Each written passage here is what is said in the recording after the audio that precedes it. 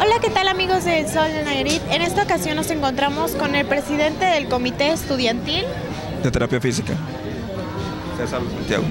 César Santiago. Eh, César, platícame a qué, qué, vienes a presentarnos hoy.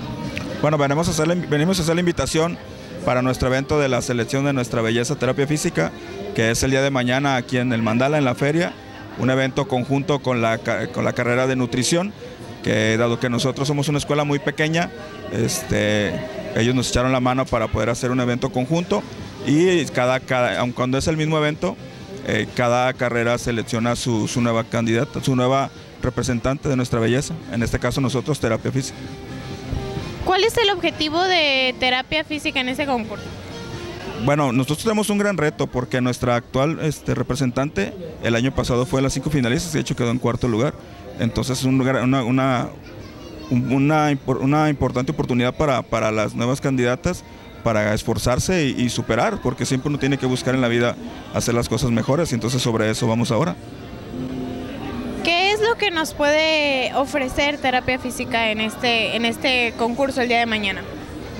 Yo creo que no es una sorpresa porque los que nos conocen saben de, de que aun cuando tenemos muy poquitos alumnos comparado con escuelas que tienen miles, nosotros somos alrededor de 80 alumnos, la, calidad de nuestras muchachas en preparación, en conocimientos y en el gusto por hacer todo esto, eso es lo que nos va a permitir mañana que vean el gran desenvolvimiento y el agradecimiento también al Comité de Nutrición, porque a, Susana que las ha preparado a todas por igual, no, no hay un distingo de que los de nutrición o terapia nos este, ensayan todas parejas y corrige de la misma manera. Y yo que las chavas están muy muy bien preparadas este, y con la emoción el gusto de poder mañana desarrollarse muy bien en el evento. No, pues muchas gracias a ustedes por la invitación y agradecer también al Comité de Nutrición que ha sido tan bondadoso con nosotros para abrir estos espacios. Muchas gracias. Y bueno, ahora nos encontramos con Mitzi López. Ella es la actual representante, la actual señorita de terapia física. ¿Cómo estás, Mitzi? Muy bien, gracias. Mitzi, ¿qué podemos esperar de las chicas en este año, de las que se están preparando para, para este concurso?